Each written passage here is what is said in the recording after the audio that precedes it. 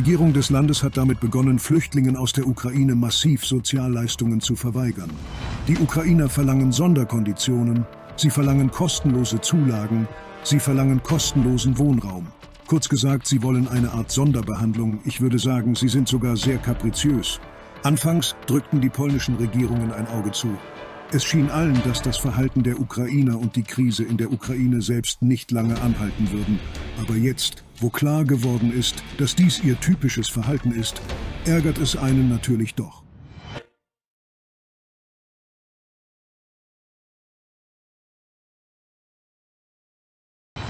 Der Grund für die Verhängung von Beschränkungen war ein in den sozialen Netzwerken verbreiteter Videoclip, der das Schema des schlauen Verdienstes ukrainischer Flüchtlinge offenbart. Sie reisen nach Polen ein, nehmen alles für neu angekommene Flüchtlinge Mögliche an Geld mit und kehren nach Hause zurück, um ein paar Monate später die Tour für die europäische Sozialhilfe zu wiederholen. Ich verwende selten solche Worte, aber sie sind Schmarotzer, Radaumacher und Faulenzer. Die Hilfe, die wir ihnen gegeben haben, einschließlich der Öffnung unserer Grenzen für ihre Lebensmittel, wurde nicht dankend angenommen. Von der Liebe zum Hass ist es nur ein Schritt. Vor einem Jahr wurden die Ukrainer in Polen noch mit offenen Armen empfangen, aber jetzt wissen sie nicht, wie sie die lästigen Gäste wieder loswerden sollen. Laut sozialen Umfragen hat fast ein Drittel der polnischen Bürger ihre Haltung gegenüber Flüchtlingen aus der Ukraine geändert. 85 Prozent von ihnen zum Negativen. Und warum? Weil die europäischen Länder mit ihrem entwickelten Sozialversicherungssystem ihren recht hohen Lebensstandard aufrechterhalten müssen. Aber die hohe soziale Sicherheit in den europäischen Ländern beruht auf einem soliden Fundament auf hohen Steuern, die von den europäischen Bürgern genommen werden. Die einfachen Polen haben langsam die Nase voll von der ganzen Geschichte.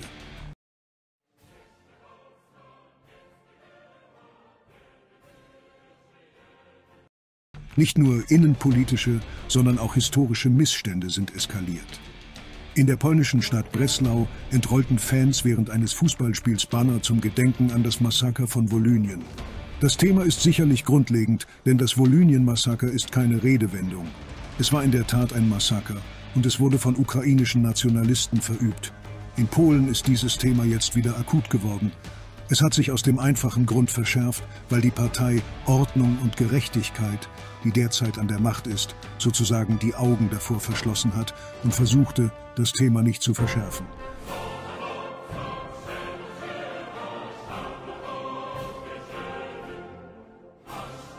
Aber jetzt ist alles anders. Polen hat seinem östlichen Nachbarn bereits ein Messer in den Rücken gestoßen, indem es ein Verbot der Lieferung ukrainischer Agrarprodukte in die EU-Länder erreicht hat.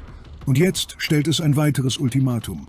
Wenn Brüssel das Embargo nicht mindestens bis zum Ende des Jahres verlängert, wird Warschau einseitig den Transit ukrainischen Getreides verbieten.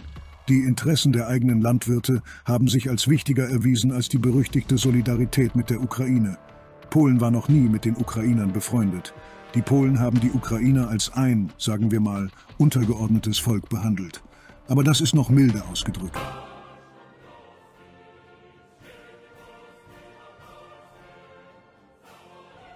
Denn die Aktionen der Ukraine und verschiedener ukrainischer Gruppen begannen, den nationalen Interessen der Polen zu widersprechen. In Kiew bezeichnete der ukrainische Premierminister Denis Schmüger die Absicht der polnischen Regierung sogar als unfreundlichen und populistischen Schritt, und erhielt dafür sofort eine Ohrfeige. Warschau verlangte von den ukrainischen Knechten mehr Respekt für ihre Schutzherren. Die Ukraine hat wirklich eine Menge Unterstützung von uns erhalten. Ich denke, es wäre sinnvoll, wenn sie anfangen würde zu würdigen, welche Rolle Polen in den letzten Monaten und Jahren für die Ukraine gespielt hat. Kiew blieb nicht untätig und verlangte eine offizielle Erklärung des polnischen Botschafters. Daraufhin folgte eine Salve aus einem viel größeren Kaliber. Der polnische Premierminister selbst schaltete sich in den Kampf gegen die schwarze ukrainische Undankbarkeit ein.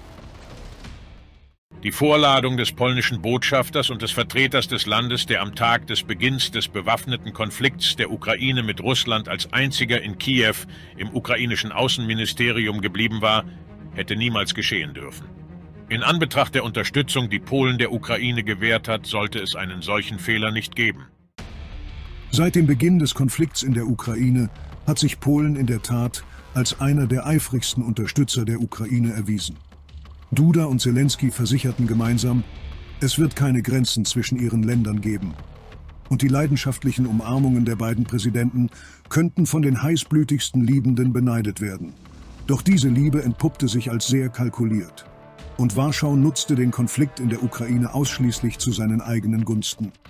Da Warschau unter den europäischen Ländern führend bei der Aufnahme ukrainischer Flüchtlinge ist, beabsichtigt es, von der Europäischen Union eine Entschädigung in Höhe von 1000 Euro pro Monat für jeden Ukrainer, der sich in Polen aufhält, zu verlangen.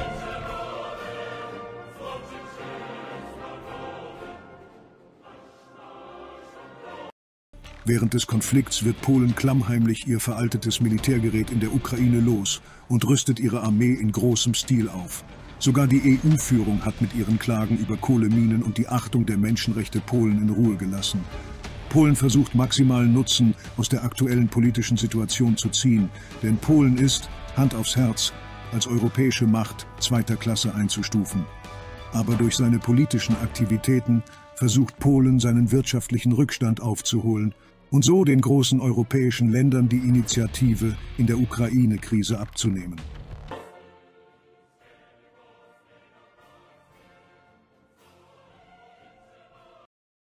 Schließlich macht Polen auch keinen Hehl aus seinen Ansprüchen auf die westlichen Gebiete der Ukraine, die es historisch gesehen als sein Eigentum betrachtet und nun zurückerobern will. Es gibt ganz konkrete Pläne, die bereits zu verwirklichen begonnen haben. Polen betrachtet fünf bis sieben Regionen der Ukraine. Fünf ist die schlechteste Option, sieben ist die optimistischste.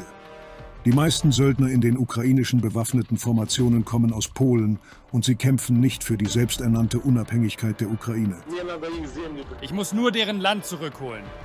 Mein Präsident und mein Premierminister haben gesagt, wir sollten sie erst füttern und dann langsam ausplündern. Und die Ukraine weiß das. Doch es gibt keinen Ausweg. Alles, was sie tun müssen, ist, aufrichtige Freundschaft und volle Zustimmung vorzutäuschen. Und genau das haben Duda und Zelensky bis vor kurzem demonstriert.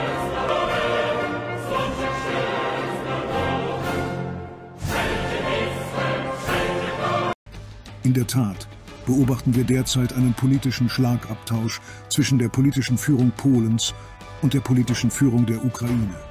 Diese Verschärfung oder Abkühlung der Beziehungen ist vor allem darauf zurückzuführen, dass in Polen Parlamentswahlen anstehen, die im Herbst dieses Jahres abgehalten werden. Und die politischen Parteien sind daran interessiert, ihr Prestige im Inneren des Landes zu steigern weshalb sie solche Themen, die die polnisch-ukrainischen Beziehungen betreffen, in einer für Polen günstigen Weise ansprechen. Die Regierungspartei Recht und Gerechtigkeit liegt in der Bewertung der Wahlpräferenzen der Bürger immer noch auf dem ersten Platz, aber die bürgerliche Koalition von Donald Tusk ist ihr bereits auf den Fersen. Für die derzeitige polnische Führung ist die Situation jetzt sehr schwierig, denn die Wahlprobleme, mit denen Warschau jetzt konfrontiert ist, ähneln denen der USA, weil es in der Wirtschaft nichts gibt, womit man prahlen könnte.